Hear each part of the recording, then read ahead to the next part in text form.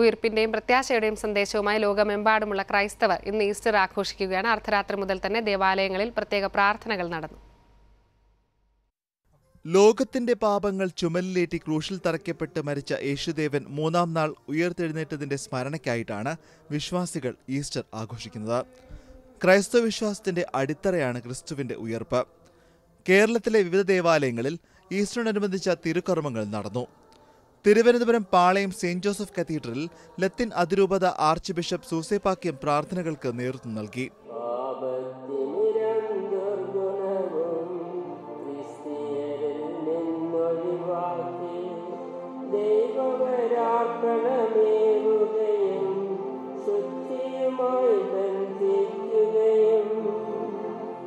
കോഴിക്കോട് ദേവമാതാ കത്തീഡ്രലിൽ ഫാദർ വർഗീസ് ചക്കാലയ്ക്കലാണ് പ്രാർത്ഥനകൾക്ക് നേതൃത്വം നൽകിയത്.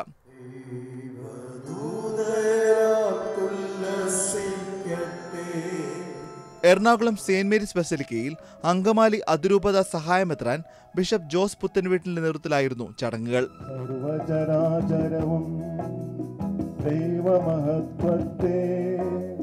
ദില്ലി സേക്രഡ് ഹാർട്ട് ദേവാലയത്തിൽ നടന്ന ചടങ്ങുകളിൽ നിരവധി മലയാളികളും പങ്കെടുത്തു.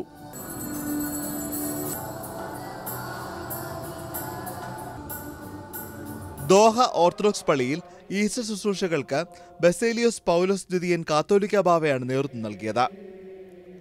വിവിധ ബ്യൂറോകൾക്കൊപ്പം ന്യൂസ് ഡെസ്ക് ഏഷ്യനെറ്റ് ന്യൂസ്.